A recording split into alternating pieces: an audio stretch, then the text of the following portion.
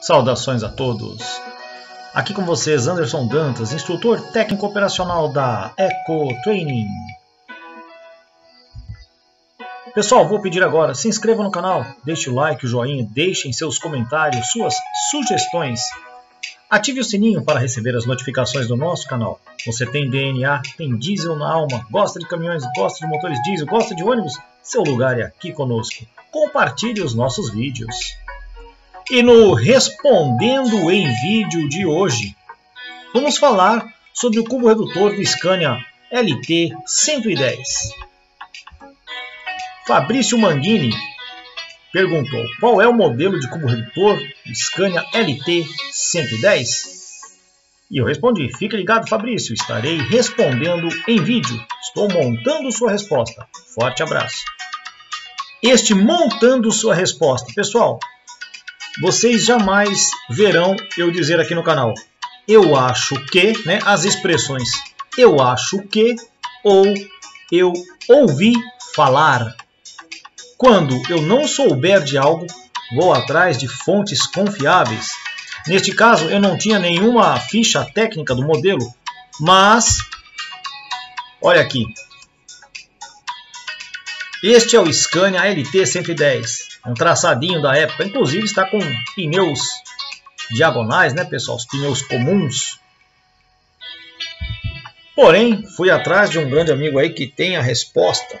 É o grande Samuel, Samuel que é especialista, um dos maiores especialistas em jacarés do Brasil. Meu muito obrigado, Samuel. Muito obrigado mesmo, porque aqui no canal a gente gosta de mostrar de fato como a gente consegue as respostas corretas aí para as pessoas que estão em dúvida. Ok? E Samuel, pessoal, muito gentilmente, né, ele tirou uma foto da parte de um manual de um Scania 110. É, e agora nós podemos trazer a resposta correta para o Fabrício Manguini e para todos aqueles que têm esta mesma curiosidade. E aqui está. Então, pessoal, o L era o 4 por 2, LS era o 6 por 2 e LT era o traçado, tá? Então estes eram os eixos traseiros. No L e no LS era o R751 canelinha e opcional o RP750. Na época não tinha duas opções aqui no canelinha do 110, 471 que era standard e 583 a mais reduzida. No RP 750, que era com redução nos cubos, a relação 4,79 para 1. E aqui o traçado standard, que é aquele que eu mostrei na foto para vocês, os eixos traseiros RB 652 e R651. Canelinha, tá bom? A relação de diferencial era 5,33 para 1. E opcionalmente, olha aqui, a pergunta do Fabrício vai ser respondida agora. Qual cubo redutor usava o LT110? Ele usava os eixos traseiros RBP 652 mais RP 651. A relação de redução era 6,09 para 1. E agora vamos à sopa de letrinhas, né pessoal? O pessoal sempre gosta aqui da sopa de letrinhas do canal. Eu vou fazer a designação desse aqui, que é a mais completa e serve para todos os outros. R, pessoal, neste caso, Rear Axle, eixo traseiro. Mas a letra R também pode designar um Front Axle, um eixo dianteiro diferencial. Tá bom? B, Bug. Bug remete a dois eixos trativos. Então nós temos a configuração Bug leve, quando você não tem cubo redutor, e a configuração Bug pesado, quando você tem um bug pesado, você tem cubo redutor. IP Planetary Rub Reduction, redução planetária nos cubos de rodas. Tá?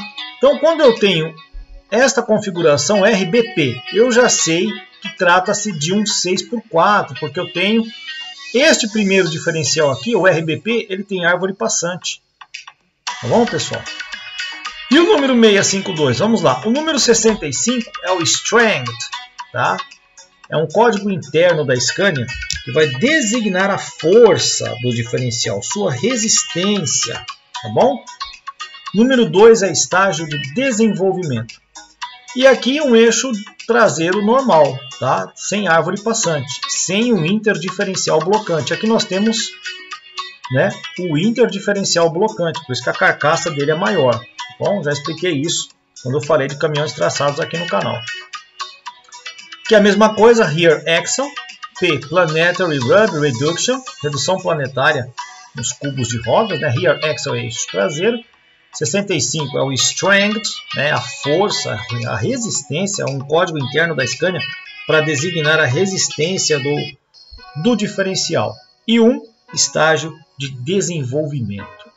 Ok, pessoal? Tá claro? Quero agradecer ao meu grande amigo Samuel mais uma vez, agradecer ao Fabrício Manguini, que está trazendo aí, né, debatendo conosco aí e é muito interessante. E a gente aprende todos os dias. É aquilo que eu falo. O instrutor é um eterno aluno. Agradeço a todos os inscritos, agradeço ao Samuel, agradeço a todos os amigos aí que compartilham seus conhecimentos para que a gente possa disseminar a boa informação na internet. Pessoal, conheça o nosso treinamento operacional online multimarcas para caminhões e ônibus. Acesse www.ecotrainingtrucks.com.br. Nosso Instagram eco.treino. Também temos treinamentos para quem quer se tornar um instrutor técnico operacional totalmente multimarcas, multissegmentos para caminhões e ônibus. Vou deixar o link na descrição desse vídeo ou se você entrar no nosso site também terá né, todas as informações que você precisa. Muito obrigado, Senhor Jesus. Obrigado, meu Deus. Muito obrigado a todos e até o próximo vídeo.